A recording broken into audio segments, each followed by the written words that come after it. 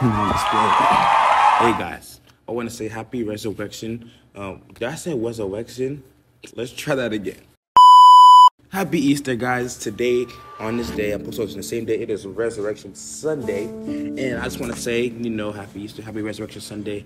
You know, this day, you know, years ago, third day, 2,000 years ago, greatest man, who is Jesus Christ, died on the cross in our place and died for our sins. now, he not only was he beaten so hard, beaten terribly, beaten so much, spit upon God, his beard plug had a crown of thorns on the head. It was beaten so much to the point he was unrecognizable. You couldn't even tell who he was. He did that all for you.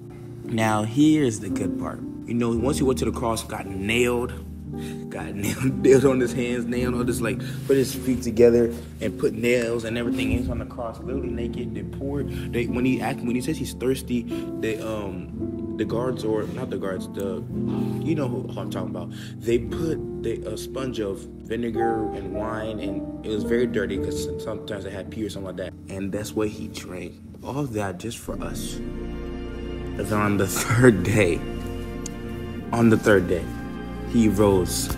He rose from the grave. He is not dead. He is surely alive. Go to Israel. You're not going to see him in there because he is alive. He has risen. And he's coming back again for us. He, he did this. He did this all for us to have a chance, to have a second chance because we fell when Adam and Eve sinned. But Jesus said, you know, no, no, no. I came to fix it so that you may have a way because he's the one truth, and the life. So you may have a way to heaven. And I want to read something. We're going to go to Matthew chapter 28. It says, Now after the Sabbath, as the first day of the week began to dawn, Mary Magdalene, Magdalene and the other Mary came to see the tomb. And, befo- and behold, there was a great earthquake, for an angel of the Lord descended from heaven and came and rolled back the stone from the door and sat on it. His countenance was like lightning, and his clothing as white as snow. And the guards shook for fear of him and, and became like dead men. But the angel answered and said to the woman, Do not be afraid, for I know that you seek Jesus who was crucified. He is not here, for he is risen, as he said. Come see the place where the Lord lay. And go quickly and tell his disciples that he is risen from the dead, and indeed he is going before you into Galilee. Therefore you will see him. Behold, I have told you. So they went out quickly from the tomb with fear and great joy and ran to bring his disciples word. Because he is risen, we could go because he has risen. We can go and tell people about Jesus, so they may accept them, and they can have eternal life. So, because I says in John 3:16, "For God so loved the world that He gave His only begotten Son, that whoever believes in Him shall not perish but have everlasting life." He made a way for us because we were going off the wrong path. We were on our way to hell. But if you choose Christ, you're on the way ahead to heaven. But it's your decision. He gives you free will to either say yes, to either say no. Because he's not going to make robots where you're forced to love him, where you're forced to serve him. So it's all about love. Because Christianity is a relationship, not religion. Let me tell you.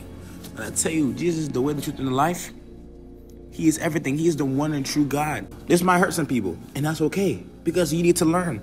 Muhammad is dead. Allah is dead. Buddha is dead. All them other false gods are dead. If it's a statue, if it's a graved image, they're not real. He can't hear you. They can't hear you or talk to you. But if Jesus is alive and you can talk to him, you can spend time with him. He has changed my life. If you know me for a minute, you know you you know that he's changed my life. He's resurrected my life. Let's go to John 11, 25 and 26. He said, Jesus said to her, I am the resurrection and the life. He who believes in me, though he may die, he shall live, and whoever lives and believes in me shall never die. Do you believe this? Mm. That's what she said. She said to him in verse 27, Yes, Lord, I believe that you are the Christ, the Son of God, who is to come into the world.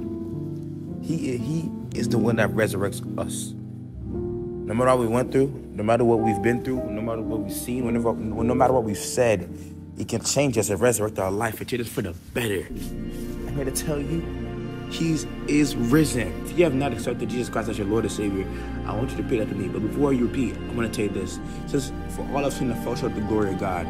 For the wages of sin is death, but the gift of God is eternal life through Jesus Christ our Lord. and whoever calls on the name of the Lord, they shall be saved. So I want you to read after me. Say, Dear Lord Jesus, come into my heart. Forgive me of my sin. Jesus, I believe that you died on the cross and rose on the, on the third day. Thank you for what you've done for me. I receive the free gift of salvation. I accept you as my Lord and Savior and rule over my life. In Jesus' name, amen. So happy Resurrection Sunday. Have a good week, a good month. You know, tomorrow's about to be April. We're literally about to be in the fourth month. So that's going to be good. And I'll see you guys later.